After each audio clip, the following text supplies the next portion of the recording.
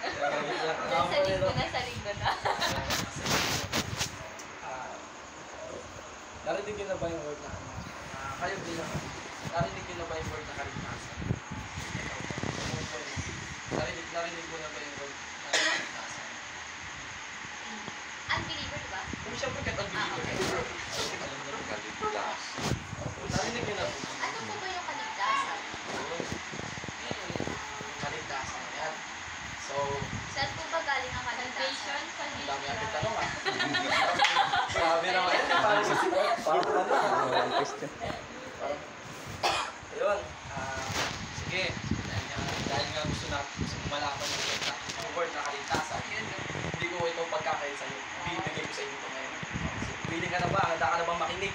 Yes. Po. Ito. Alam niyo ba yung word na kaligtasan? Pag, so, pag sinabing kaligtasan, ano yung unang pumapasok sa isip? Kaligtas. Hindi mapahama. Yun. Mapahama. Unbeliever yan, ha? Yes, tama. So, bibigyan natin linaw yan. So, ito, bago ko simulan, may gusto muna akong share sa inyo. Ah, sabi nga sa John 3.16, sapagkat gayon na lamang ang pag-ibig ng Diyos sa katawan. Kaya ibinigay niya ang kanyang kaisa-isang anak upang ang sino mang sumampalataya sa kanya ay hindi mapahamak, kundi magkaroon ng buhay na walang hanggan. Nga. So, ito na. Ah, sa atin, kanina may tinanong ako yung word na kaligtasan. May marami kasing uri ng kaligtasan. Yung pagdating, di ba, kung, kung depende kung saan mo siya gagamitin, di ba? Pwede, ah, naligtas ka galing sa, ah, mula sa pagkakahulog sa bangin, di ba? Pwede gano'n. Di ba? Pero ito naman share ko sa'yo, yung kaligtasan na to, is ito yung kaligtasan na hindi kayang gawin ng tao. Hindi kayang ibigay ng tao. Pero ito'y kayang ibigay o gawin ng Diyos. Diba? So ano tong kaligtasan na to? Ano ba yung ano ba yung kayang ibigay ng Diyos? Ito na, sabi, ulitin ko lang. Ah, ayun, yung buhay na walang hanggan. So ito na, ano ba yung buhay na walang hanggan? Diba? Buhay na walang hanggan. So walang hanggan. Pagka walang dulo, walang katapusan na buhay. Saan ba natin ito matatagpuan? Meron ba dito ba sa lupa? sa palengke? Wala. O, kung wala sa lupa, nasaan? Wala sa langit. Sa langit po. Ayun, tama. Nasa langit. So, yun. So, doon na. Nauna na ba natin? Yung walang hanggang buhay. Pero ito na, o, nandun na. Nandiyan yung buhay na walang hanggan. Ang problema, paano naman natin ito makukuha? Paano natin ito makukuha? Ma, saan mo ba ito makukuha? Sa presidente? Sa pastor? Sarili niya. Sa sarili? Saan ito yung tanong eh? Saan, natin, saan kaya natin ito makukuha? Diba?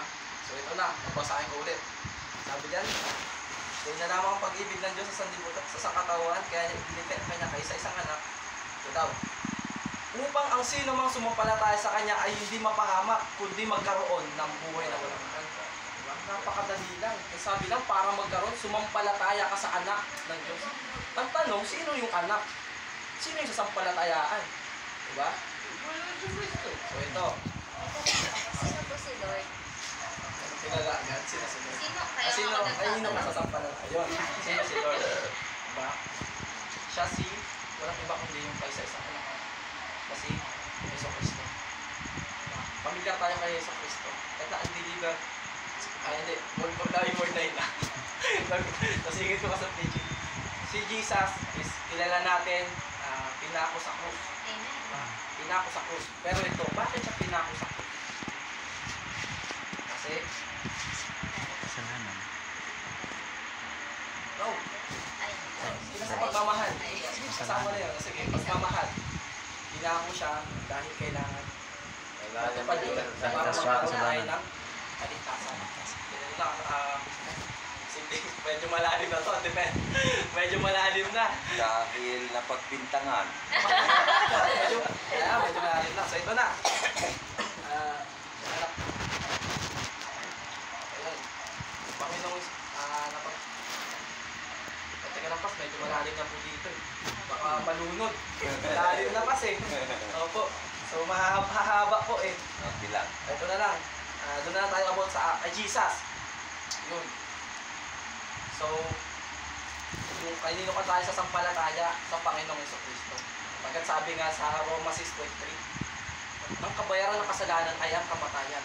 Ngunit ang walang, walang bahay na kalaw ng Diyos ay buhay na kalanggan sa pamamagitan ni Kristo Jesus na ating Panginoon. Lagi mo tatandaan, hindi sa pamamagitan ko, hindi sa pamamagitan niya, o ng pastor natin, o ng presidente ng Pilipinas. Makukuha mo yung salita, o yung word na salvation, o yung buhay na walang hanggan sa pamamagitan ni Kristo Jesus ng ating Panginoon. Kaya ikaw, kung willing ka na tanggapin yung Panginoon, kung gusto mo na, ah, kung ikaw, kung gusto mo ah, maranasan o makamit itong tinutukoy natin na kaligtasan o yung buhay na walang hanggan, wala kang ibang gagawin kundi ang sumampalataya lang sa anak ng Diyos at tanggapin siya bilang personal na Diyos at yung tagapagligtas. So yun. Amen. Kaya,